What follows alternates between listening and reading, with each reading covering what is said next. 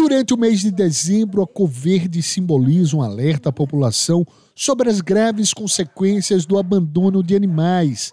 Cães e gatos vítimas desse ato cruel são encontrados nas ruas muitas vezes após serem deixados pelos seus próprios tutores. A Organização Mundial da Saúde estima que mais de 30 milhões de cães e gatos estejam em situação de abandono no Brasil.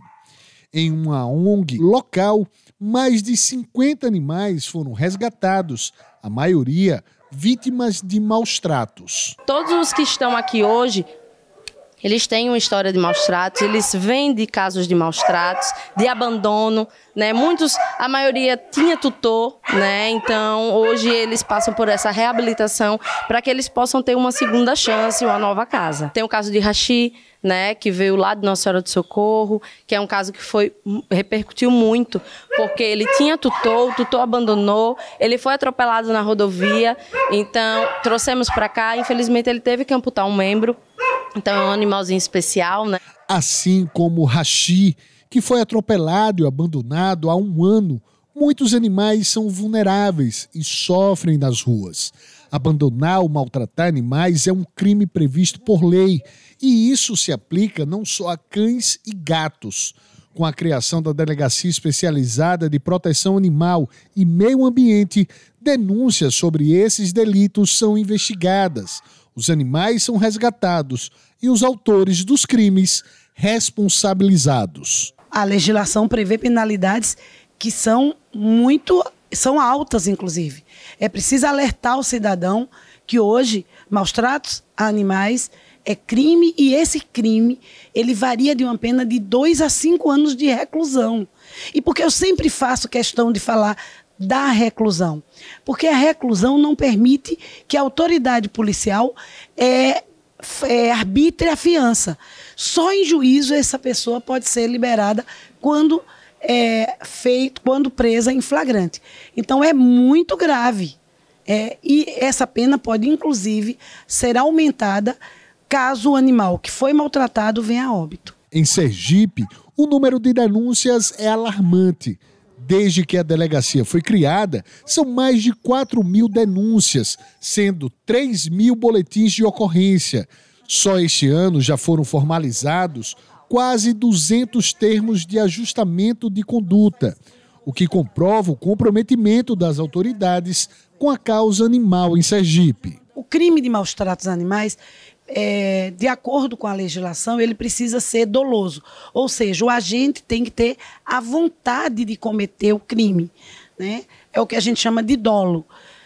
Muitos casos, muitas denúncias nos chegam, aí nessas quatro, mais de 4 mil denúncias, nos chegam é, e a delegacia percebe que não há essa vontade de maltratar.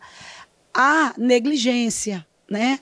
É, o, o, tutor, o responsável, acaba negligenciando, deixando o animal com uma corda muito pequena no pescoço, é, muitas vezes sem o passeio adequado para um animal, sem os cuidados adequados.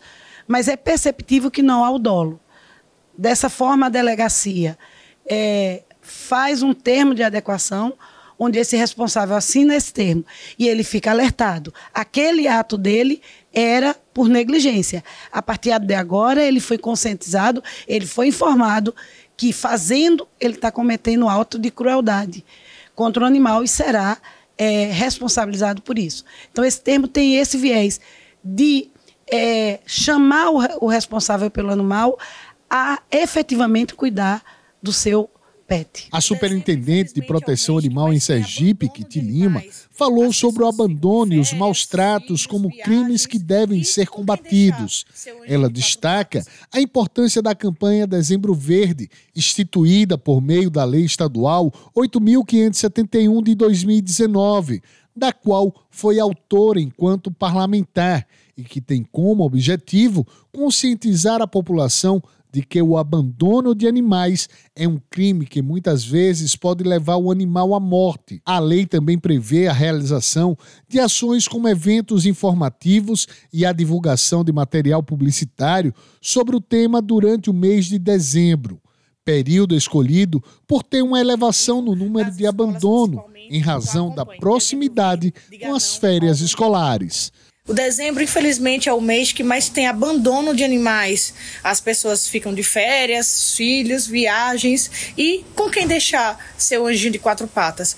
alguns, infelizmente, preferem jogar nas ruas. Isso é um crime, e crime dos graves. Né? Dois a cinco anos, com a lei sanção, né? da cadeia, sim.